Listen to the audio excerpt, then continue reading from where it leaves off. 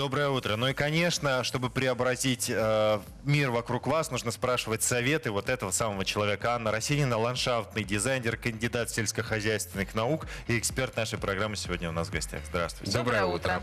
А форзиция средняя желтая сегодня пришла вместе с Анной. Но это мы видим по коробке. Средненькая, желтенькая. А что-то вот изображение на коробке отличается от того, что в коробке. Ну, на самом деле, если бы она сидела у нас сейчас в саду, то мы бы с вами не отличили ее от большинства остальных кустарников, потому что сейчас еще, конечно, все спят. Но магазины не дремлют, и они привозят к нам кучу-кучу всего нового. И вот сегодня, конечно, э, я принесла такое спорное растение для наших условий, но тем не менее оно продается у нас в огромном количестве, и всегда его можно отыскать. И, конечно, оно поражает нас тем, что вот у меня вот там вот за спиной очень красивое на картинке. То есть вот так это должно быть в пышном цвете. Где-то оно так и есть. И, конечно, когда люди начинают знакомиться с каким-то новым растением, вот я, допустим, буду сегодня там в течение 5-8 минут рассказывать форзиция, форзиция, так все на слух себе намотают, но поставлю восклицательный знак в самом, в самом начале и скажу, что это растение, то, которое не наверняка. Вот вчера на занятиях мне очень понравилось, одна дама сказала, оно такое непредсказуемое. Вот это как раз то, что отражает э, суть вот этого растения. Потому что сказать, что оно будет вот так вот, однозначно нельзя. Почему?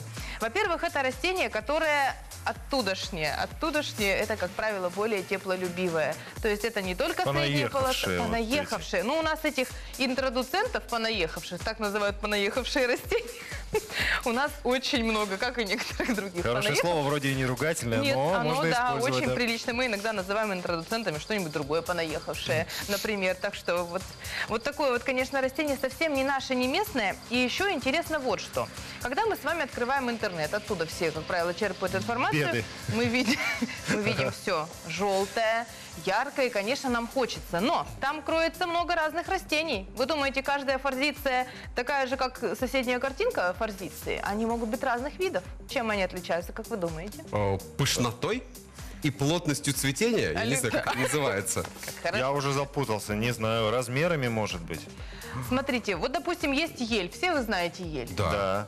Бывает ель сибирская, которая растет у нас. Да. Бывает ель европейская, которая растет в средней У них, полосе. А да. есть более интродуценты, которые там, там, там. Голубая? Где-нибудь. Голубая или колючая тоже у нас хорошо нас есть растет. Но это растет. разные виды ели. Так вот, чем они могут отличаться? Во-первых, э, из-за того, что у них там разные размеры хвоинок и, и самого растения, они отличаются зимостойкостью. Слово зимостойкость для нас с вами главное. Ключевое. То Ключевое. есть некоторые не такие зимы. Некоторые Давайте не достанем, такие. будем ее доставать Мы сегодня? будем ее доставать. И вот вам нравится то, что торчит оттуда? Да, Симпатичненько, да. по- подает признаки жизни. Можно подарить на 8 марта даме, правда? Тоже, да. Но на самом деле то, что торчит, вполне неплохо, потому что иногда может торчать что-нибудь беленькое, тоненькое, этиолированное, когда оно жаждало света, а ему света не было. Так вот, если оно торчит зелененькое, это, в общем-то, хорошо.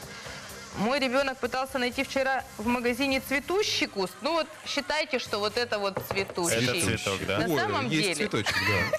Цветочек есть, он немножечко пригрустил, но ничего страшного. Но на самом деле в качестве саженец, э, саженца вот такое растение вполне нормальное. Другое дело, когда мы этот саженец в магазине раздобыли. Сейчас у нас с вами, ну уже можно сказать, что весна. Весна. Но до того момента, как это растение поедет в сад, пройдет еще, ну, наверное, пару месяцев.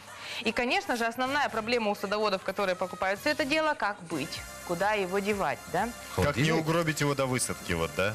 Что случается довольно часто. Постоянно. Ну, я считаю, что в этом плане, конечно, те товарищи, которые занимаются продажей, они всех нас переплюнули, нас, ботаников, потому что мы слабые люди, и мы, конечно, хотим чего-нибудь себе такого весной прикупить, но, конечно же, лучше бы дождаться попозже. Но другое дело, что попозже не будет, потому что у них там уже будет что? Лето, у них уже будут это крупные растения, и в качестве саженца вот такого оно просто до нас не доедет.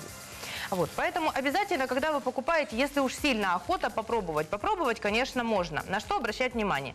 Во-первых, чтобы вот это вот все было, ох, бодрячком и торчком. Это значит, что у растения все хорошо в корнях, оно не сухое, у него высокий тургор это называется. То есть внутри давления все с ним хорошо. А, обязательно Ну, нужно... словарный запас сегодня так возрос, что аж не Что? Ну, вы помещается. держитесь как-то. Скоро торчком, лето, скоро вкус, лето. Кроме топинамбура мы выучим еще что-нибудь, не переживайте. Так вот, если его вот так потрогать, потрогайте его. Thank you. Ну, вот, Похож на пирожное картошка, да? Ой, на что оно ну, только не поплотнее. похоже. Если Оно что, я, похоже- кстати, сейчас умею определять форзиции, вы звоните. Могу сходить с вами в магазин. Пора делать вас консультантом на самом деле. Так вот, оно мягонькое, это значит, что оно более-менее влажное. Тут, как правило, торф или опилочки, в общем, чего-то вот такое.